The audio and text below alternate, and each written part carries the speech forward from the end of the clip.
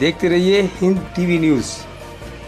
रोज़ाना की तरह आज भी हम आपको दिखाएँगे एक नई खोज एक नई खबर। नमस्कार मैं हूँ गुड्डू जेके और आप देख रहे हैं हिंद टीवी न्यूज़। देश और दुनिया की हर छोटी बड़ी खबर देखते रहिए हिंद टीवी न्यूज़ पर। आपका चैनल आपकी आवाज़ 24 घंटे आपके साथ। ना मिर्च ना मसाला सीधा खबर से हवाला थोड़ा सा बताएँ। मेरा नाम नसीम अहमद देवी है। जी। मैं बाज़ार मल्ली महाराज से हूँ। जी। लेकिन आजकल यहाँ मुस्तफ़ाबाद गली नंबर नौ में रहता हूँ। जी। सर आपसे पूछना चाहते हैं कि आपके प्रधानमंत्री कौन होने चाहिए और कैसे होने चाहिए? आप किस तरह के प्रधानमंत्री को चुनेंगे आपका क्या मुद्दा होता है? देखो जी सबसे बड़ी बात तो ये है कि हमने दो प्रधानमंत्री तीन प्रधानमंत्री आज तक देख चुके हैं। कांग्रेस के भी देख लिए भाजपा के भी देख लिए। हर दौर के अंदर कोई भी प्रधानमंत्री हर लोगों की ख्वाहिश पूरी नहीं कर सकता।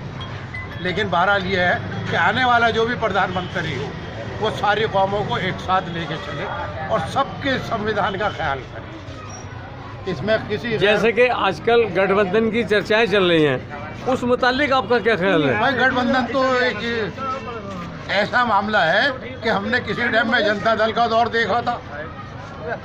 जनता दल बहुत सारी पार्टियाँ बन के आई थी और सत्रह महीने नहीं रही थी।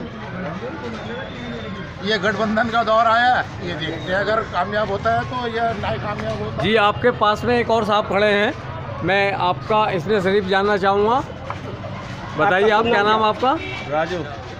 राजू को पूरा नाम बताइए आप। रियाजुद्दीन। रियाजुद्दीन। जी आप भी बताइए कुछ थोड़े इलेक्शन के मुतालिक। क्या बताना बोलो रियाजुद्दीन ये पूछना चाहते हैं कि आपके क्षेत्र में जैसे कि स्कूल की समस्या होती है स्कूल हॉस्पिटल बैंक वगैरह की समस्या होती है क्या आपकी कोई मांग है इलेक्शन का दौर यहाँ चल रहा तो है? कुछ भी नहीं है कुछ भी ना स्कूल है ना हॉस्पिटल है ना बैंक है। और यहाँ के नेता ऐसे मनोज तिवारी पाँच साल हो गया आज तक दिखाई नहीं दिया एक बार भी। जी। एक बार भी।